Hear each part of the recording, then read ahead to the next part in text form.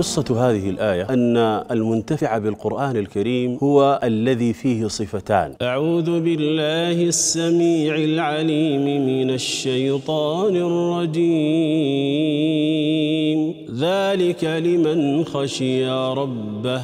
أتدري من أعظم الناس وأجدرهم وأحراهم أن يدخل في هذه الآية ممن يخشى ربه بعد النبيين والمرسلين؟ قال يا رسول الله وسماني الله تعالى ذكرني باسمي. قال لك اقرأ على أبي بن كعب. قال نعم, قال نعم. فبكى أبي. وإن الدار الآخرة لهي الحيوان لو كانوا يعلمون.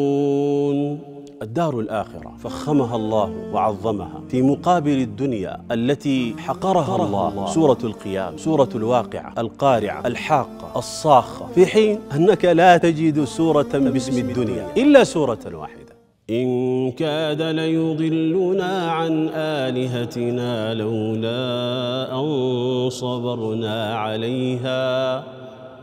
وسوف يعلمون حين يرون العذاب من أضل سبيلا. من العجب العجاب أن أهل الكفر وتكذيب لهم جلد وصبر على باطله إما جهلا وضلالا أو جحودا وإعراضا. إن كاد ليضلنا عن آلهتنا أي النبي عليه الصلاة والسلام كاد ليضلنا يعتبرون الرجوع عما هم فيه ضلالة. ذكر الله تعالى في سورة الكهف الفتن الأربعة فتنة الدين وفتنة الدنيا وفتنة العلم وفتنة السلطة. ثم ذكر الله تعالى في أول السورة ما ينجي من الفتن كلها. هذه الآية من أعظم الآيات العقلية التي تدل على الربوبية والألوهية. لأن وجود المخلوق دليل على وجود الخالق والمصنوع على وجود الصانع والحدث على وجود المحدث. الله خالق كل شيء وهو على كل شيء وكيل. فذكر الله عن هؤلاء الأنبياء أنهم كانت لهم دعوات